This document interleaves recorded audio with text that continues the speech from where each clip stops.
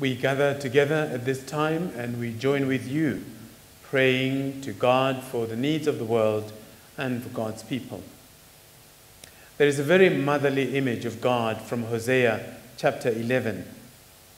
Speaking through the prophet, God says to Israel, I was like someone who left an infant close against the, his cheek, bending down to them to give them food. It is a language that is suggestive of a mother's care for her infant child.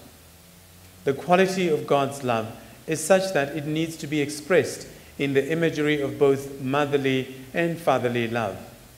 The best of a mother's love and the best of a father's love gives us a glimpse into the nature of God's love.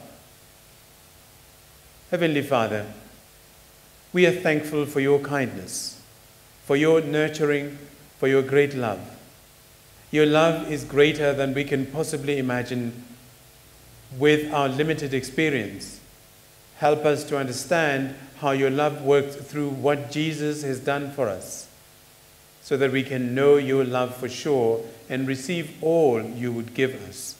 May we reflect that kind of love out into the world, and may our own compassion grow warmer and more tender for all your children. And we make this prayer in the name of Jesus Christ our Lord. Amen.